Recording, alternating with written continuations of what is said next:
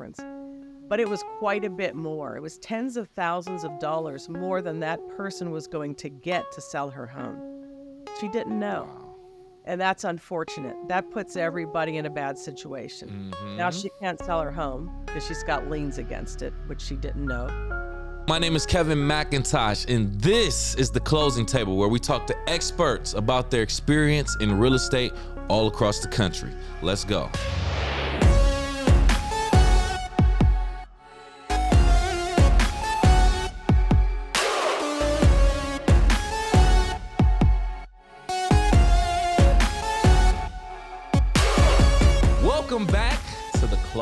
Table. I'm your host, Kevin C. McIntosh, and joining us on this episode, we're ready to get some more knowledge about real estate in her specific market. We want to welcome Sherri Flaherty to the show. How are you, Sherri? I'm great, Kevin. How are you doing? Doing just good. Doing just good. Good. Thank you again for accepting our invitation to be here as a guest on the closing table. We appreciate it. Absolutely. Appreciate the invitation. Yeah, yeah. So I- I, I hear you have some knowledge that you want to share with us regarding real estate. I'm excited for it. But before we even move into it, I want you to talk about yourself.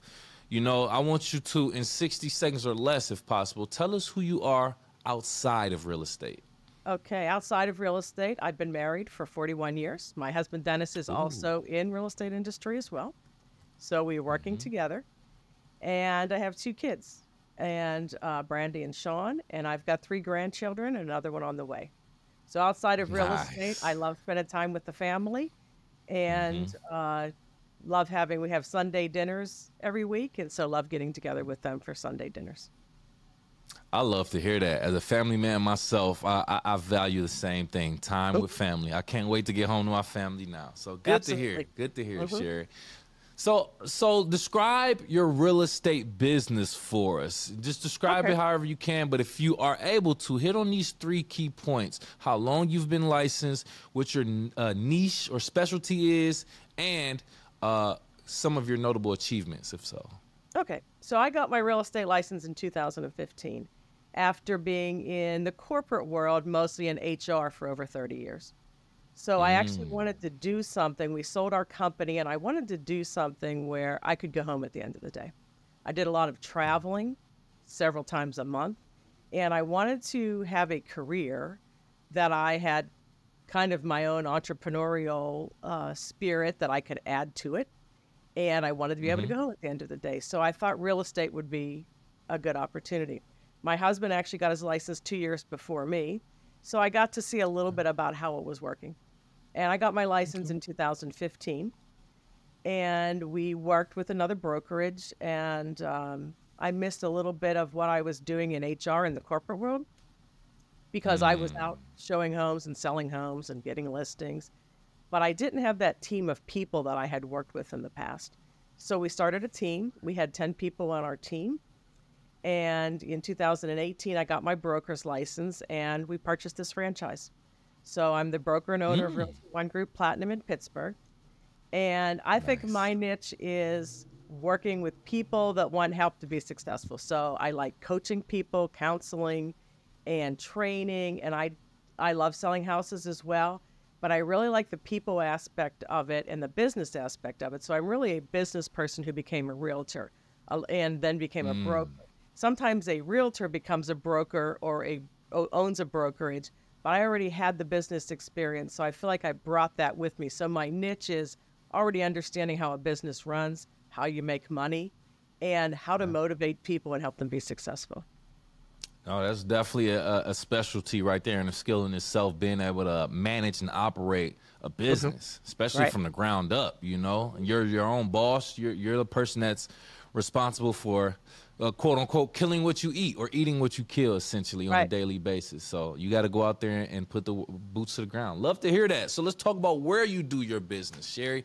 Talk about your describe your market, I should say. And this is a two part question geographically. So talk about you know what's going on, where you are, what your area is known for, the attractions, things like that, and then get into some of the economics, some of the real estate data and statistics going on there currently. Okay.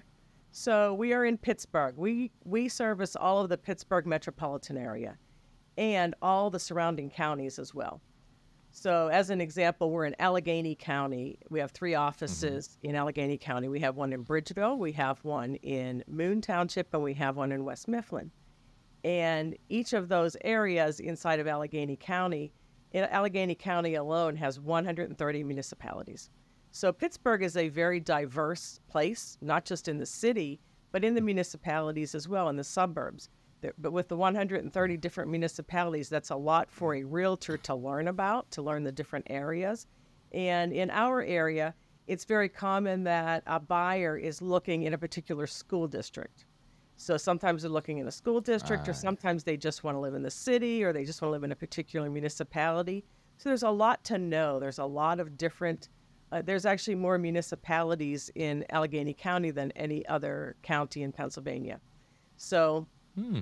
we also uh, will go somewhat outside of the Pittsburgh municipalities as well, and typically to all the counties that surround it.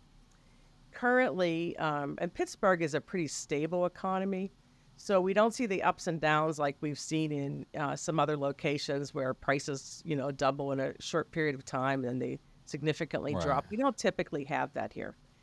Uh, but what we do have is some study, um, some study appreciation of your home. So typically, you can buy a house, and over a couple of years, it's going to increase in value. Currently, our average sales price for a single-family residential home is about two hundred and twenty-eight thousand dollars, and currently, the average time on market is about forty-five days. Oh wow, wow! You I think? wasn't expecting that. Yeah, Over so a that's- month. Yeah, eh, that's happened over just the past probably month or so. So our big time for selling is for people who want to change, get into a school district in particular, and they Mm-hmm. want to be able to get into their home before the school season starts. So we have a lot of closings that take pa- place May, June, July, August, and there's a little I bit of a it. slowdown. September it slows down a little bit. And so Mm. when it slows down, we've got less inventory on the market, but we also have less buyers as well. So things Right. now are sitting a little bit longer. The interest rates are up a little bit, and the market isn't what it was even just a few months ago. So Mm-hmm. 45 days is a probably a pretty good average for us right now. That's crazy. That's probably the longest I've heard on this show so far this year. That that's kind of crazy. But I've also been hearing about the how the days on the market has been increasing over the last couple months or so, or since Right. the beginning of the year, I should even say. But you say the the the purchase price or the sale price, property price, whatever we want to call it, is pretty much has been stable. So it the the pandemic really didn't affect or shoot up the prices as much as it did in other markets. It did back in 2021 and 2022. Well, yeah, yeah, So, yeah, So yes, yeah. it did. Interesting. One, we have things going- Interesting. As soon as you got it listed, you were getting them under contract. So still, if you have a yep. move-in ready home and you price it right, it'll probably sell very quickly. But if you looked at the Yeah, yeah, average, of you would see more of that 40 to 45 day range right now. Interesting. Okay, okay. Let's dig deeper. So you already talked about your background in HR. Uh, very impressive. That shows that you do have leadership skills. But putting that into translating that into real estate, how's your experience in HR shaped your approach to leading a real estate team? And what unique qualities do you think you bring to your your brokerage as a result? So I think there are a lot of things that I bring to the brokerage, like doing some training, not just on real estate, but on life in general. How do you have a good life? How do you set goals for yourself that are not just business hmm. related, but personal goals as well? And so, how do you have a good harmony and balance between your life and your work? And I've worked with lots of people. I've worked with thousands of people in HR over the past 30 years. And so I feel like I know how to identify somebody's skill set and kind of their innate characteristics and help them figure out what they need to do to be successful. And what I like about real estate is success is different for everybody. So when you're in the corporate ro- mm-hmm. world, you have goals to meet, right? You have to sell so many of whatever it is or do something particular or show up to an office from 9 to 5.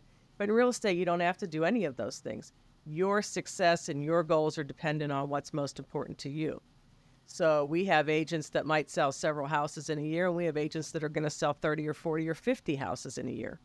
And so I feel like as an HR person with the HR background and business experience, I can help each of those people figure out how to meet what works best for them. And there is no right or wrong answer. So you choose as an individual, you're an entrepreneur as a realtor. and you decide how you want Mm-hmm. to run your business. As long as you're doing it ethically and legally, you can decide how often you want to work. And for the folks Yeah. that you know want to work 40 hours or, or more a week, they're going to be they can be very successful and make a lot of money. And for other people, it's just kind of like they're they're just filling in. Maybe they don't want to have a full time job outside of the home, but they want to sell a few houses a year. So it's a great opportunity for so many different people. And I feel like the what's important to me is that everyone that comes into our brokerage feels welcome. They feel important. They feel like they belong here. And I don't want them ever to feel like they don't get treated well because they don't sell as many homes as somebody else. I want everybody to feel like it's a great place to work.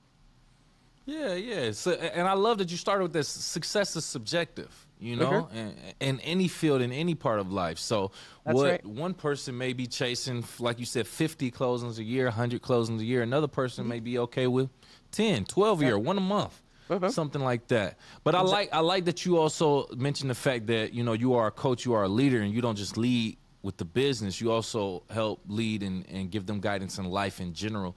And I feel like that's that should be the position of anyone in a leadership position, right? Because Yes. whether you're a baseball coach, basketball coach, hockey coach, real estate coach, you you do want to you know make a lot of similarities and analogies to real life when Yes. it comes to their business because it, it- it helps tie things into to each other. Exactly. And the person has to come first. Correct, correct. Great point. Great point. So, uh, your your parents they played a, played a significant role in you Right know there. you shaping your your strong work ethic and your leadership qualities, as they should. What you know, but I, and I like that. But can you share a specific childhood memory or lesson that you learned from your parents that continues to influence your professional life today? Yes, absolutely. So, my parents, who are still around, uh, both had a great work ethic, and they were Mm-hmm. divorced when I was very young. So, I really was raised by a single mother who always had to work to make ends meet. So. Yeah. I am used to seeing somebody get up every day and go to work and have a great work ethic, and sometimes Mm-hmm. working two or three jobs to be able to pay the bills. And my father was an entrepreneur, still an entrepreneur, and he had a great work ethic as well. So I saw him, we saw him on a regular basis, and he was very influential as well because he was also a hard worker. He had a great work ethic and he was always around. He was a great advisor, a great consultant. And so I feel like I was mm-hmm. very fortunate to have two very good parents who always have my back, still do. Mm-hmm. And I think everybody in their life needs a backup system. And usually your backup system is a family member or some and I, I felt like I had it in both parents. So I felt like I always had backup, even even today. I could go to either one of them and get advice or vent or whatever it is you might need to do. So I've had been very fortunate to have good parents. We love our parents. Shout out to the We do. moms, the dads of the world, grandfathers, grandmothers. We love them. They, like you, they are the backbone. And then are if you are in a position to be blessed enough to to have a, a, a child of your own, you essentially have to take on that role also. But it's right. beautiful that you had you had parents who were you know two different ends of the spectrum if if if I could say that. One Right. who was an entrepreneur, made the money on their own, went out about that action, and another Right. one who was just a very very hard worker, you know, in the jobs that she obtained. And, Yes. and, and both of those instilled the work ethic, the hustle, and the heart that you have. I love Yeah. to hear that. And I think I, hear what I try to do is take the best of both of those and bring Yep. those together. Mm-hmm. and hopefully be, I, be a good backup. we can only hope we give that to our kids. kids. That's right. Yep. Love that. Love that, Sherri. You um do you do any volunteering, volunteer events in your community? So we just did something a little while ago in our office that I thought was pretty nice. Um, so the situation that's going on in the Ukraine uh, was taking place, and our CEO is an immigrant from Poland. His name is Kuba, and Kuba has a wife, Luba, and Luba is from the Ukraine. And their children wanted to know what they could do to help some of the relatives and the family members and people that they knew in the Ukraine that were needed to get out of Ukraine. And they put together some shoe boxes that they had sent to them. And Kuba came up with the idea of sharing with other franchisees that this might be something we want to participate in as well. So we brought it out to all of the agents, and it was fantastic. I never participated in anything quite like this before. And each of the agents and family members could get together and put together shoe boxes of items you thought might be important to people that had to flee the Ukraine. So they didn't get hmm. sent to the Ukraine, they got sent to places like Poland or places they were going to so that they had something from to know that somebody cared about them, someone cared about the situation they were in. So for me personally, I have very young grandchildren, but they got to be part of this. We did a thing on one of our Sunday dinners. We had everybody around the table and they colored pictures for children and they put they had toys that I purchased and they could select and put into their shoe boxes and send them put them mm-hmm. together for the children in Ukraine. And one of the best stories that came out of it is one of our agents called me. His name is Z. And I had no idea about this, but Z told me a story. Z was a refugee from Bosnia when he was about eight years old. And Z mm-hmm. remembers when he received a shoebox from an American kid. And he described Wow. what's in it. And I still remember what is in it. He had a pair of white socks. He had some little cars and trucks that he could play with. And he had one of those paddle ball things that has the paddle and the string with a ball on Oh it. yeah. Yeah, he what got that. And he got a bar Nice. of Lever soap. And he said to me, I can Mm. still pick out the scent of Lever soap out of a thousand different scents. Yeah. And I too. thought, wow, what a story. And he actually, I said to him, you need to connect with Kuba on social media and tell him your story. And he did. And Kuba, as a result, remember just recently we went to Las Vegas for the Realty One Group Summit. And he invited Z as his guest, all expenses paid, to come and be part of our summit. And every agent can't afford that. It's something everybody has to pay for. So he was able to go as Kuba's guest because he was able to relate his story that was similar to the story that we were dealing with at the time. That's so for me, that is probably one of the greatest volunteer opportunities that we've done. Yeah, yeah, yeah. You make a direct impact in helping people, you know, that, Right. that really needs it more more Yes. than anything. And then to have someone who could share a story about how that same thing like actually helped them, changed them. And, and how it affected them. That is very, very amazing. Actually, wow. Wow, interesting. I, Yeah. Okay, okay. So um, I, I got this quote.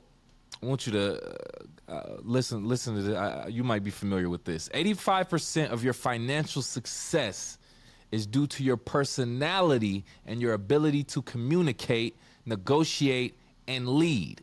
Shockingly, only fifteen percent is due to technical knowledge. S- So negotiation is the key element in the real estate deals, but could you describe a challenging negotiation scenario that you've encountered in this market and how your skills played a role in achieving success? Yes. So, um, as a newer realtor, I was making an offer on a house where, uh, and the person that I was working with really wanted the house. And we could tell by the number of people that were scheduled to see it the first two days that it was available that this was going to have multiple offers on it. Mm-hmm. So we wrote an offer. We wrote a reasonable offer right at asking price.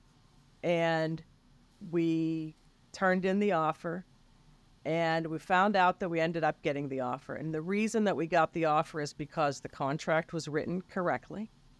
Right. We were nice to work with. We weren't being pushy to the listing mm-hmm. agent.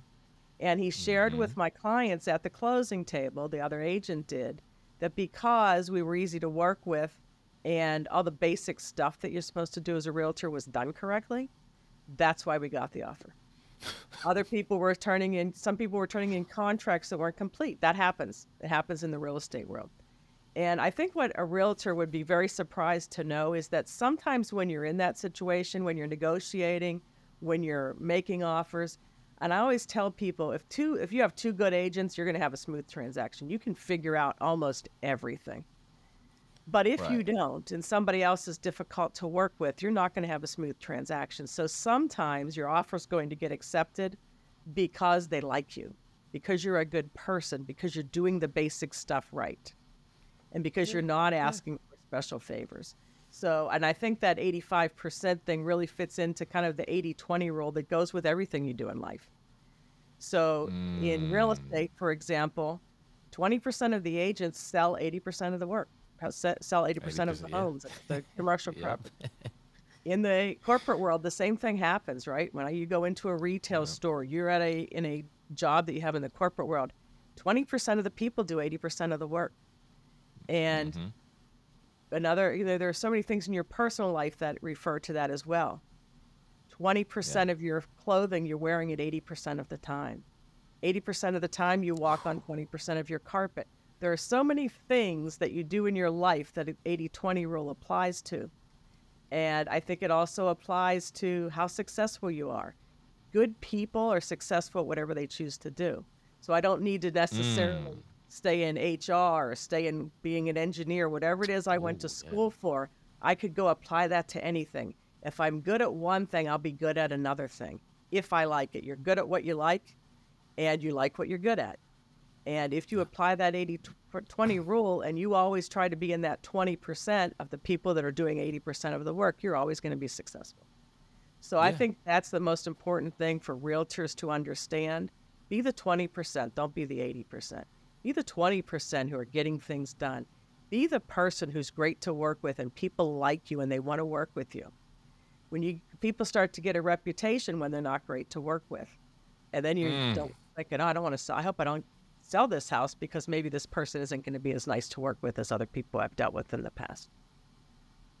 That is crazy. First and foremost, I'm today years old. Well, not really, but it's crazy to hear that your contract got accepted just off of the fact that you just did the basic fundamental things right.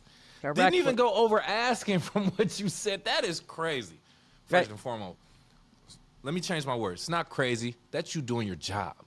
That's you doing your job. It's crazy to hear that there's agents not even doing the basic foundation parts of their job to get an offer accepted. That's wild to me. That's wild to me.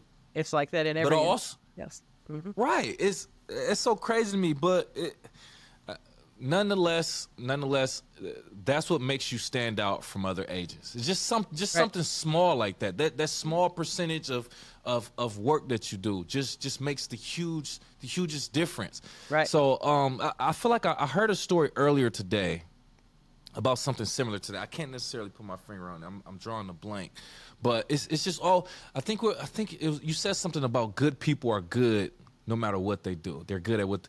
That's what I just recently. I heard someone mention this maybe on a podcast, but it was someone. It might have been an athlete who transitioned from athletics to broadcasting or something like Right. that and people were just speaking on their skills and how they're they they they translated from being good at this to being great at this and that's literally only a select few of people like that 80 20 Yes. you i feel like you were talking to me because i feel like i wear only 80 20% of my outfits 80% You of the do, time too right. so Everybody as does. you were saying that yeah as you were saying that i'm like this is so true Mhm. so yeah, it, it- it's it's great that you brought light to that, and even I just yeah, it makes so much Yeah. sense. It's, it's just it just breeds some things just breed familiar familiarity familiarity, and then you just get used to it.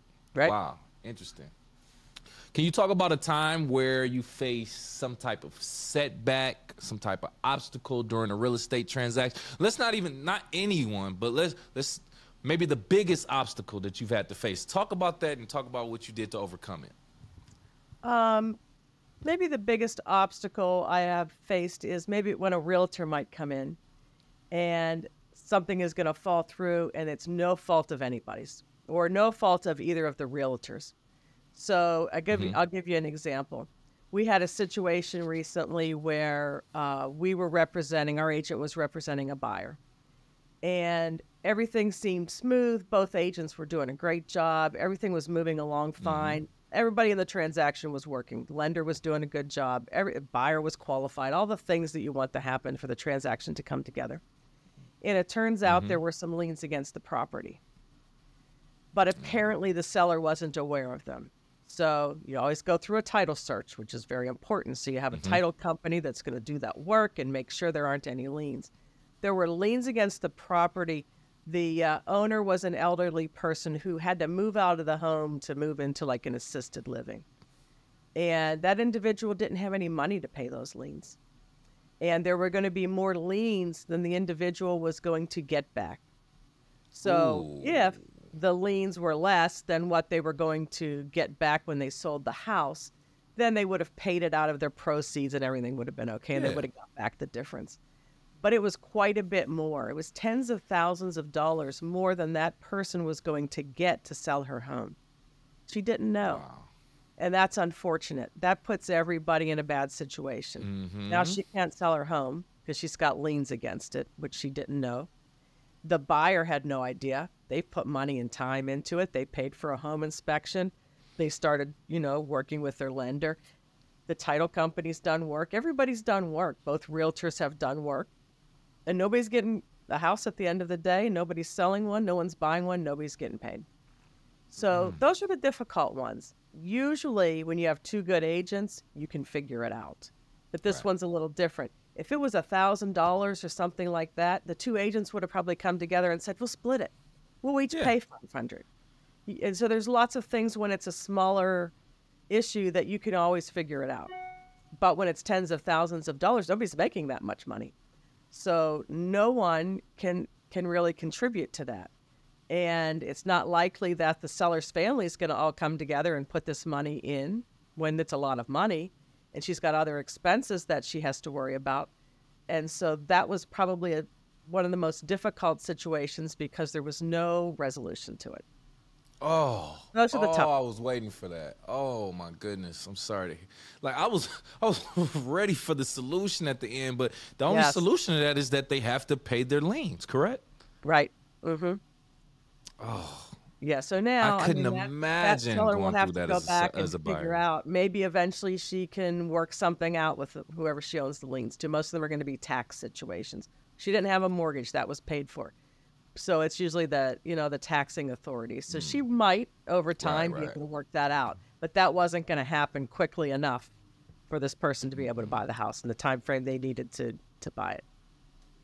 And then my other, I feel so bad because my other question is: so the buyer just had to take a loss on the money on the inspection? Was there earnest money deposit also? They get their Oh. earnest money back, but yes, they just really took a loss Oh, okay. Oh. Mhm. Yeah. But that's still some money.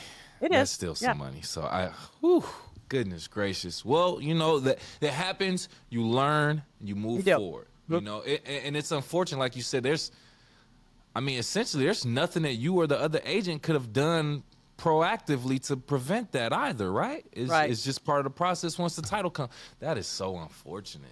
Mm-hmm. is so It is. unfortunate. Most people know. Most people know if they have a lien. Maybe they've got foreclosure notices. They know. Right, right, right. Case none of those things had happened. Oh man. So, according to the individual, she wasn't aware. Okay. Well, okay. Let's take that out of the equation. Let's go to this situation here. Um, you yourself, scenario, you're a first time home buyer. You're seeking your first home in 2023 October, right? Current market conditions going on in your market. What approach would you take to owning your first home in today's market with the current conditions? Well, first of all, get the right people to work with you through the process. Find a realtor who has a good proven track record that you know, like, and trust. And make sure you get some referrals. Make sure, I mean, you could, should go out and ask people who have you worked with. It's been great to work with. You can search for mm-hmm. people, you can do all the things you need to do. But a lot of times, referrals are from people who have had success in working with that same realtor. So find a Correct. realtor who's knowledgeable. They're going to guide you through the process and educate you step by step. And you also want to make sure you've got the right lender. You want a local lender or a lender who's familiar with the local market. They know how things work. Mm-hmm. Because you want to know a mm-hmm. couple of things from that lender. Can I buy the house? Am I qualified to buy the house? And mm-hmm. what do I what kind of cash do I have to bring to close and what's my monthly payment going to be? You need to know those things before you go make an offer. If you don't have a good lender and if you don't have a good realtor, you might not know those things or know them as well as you should. So you want to be educated through the process. You can do a lot of research, you can Google things and look them up, but you want the right professional that's working with you that has a fiduciary responsibility to you as your agent. So if you do that, Correct.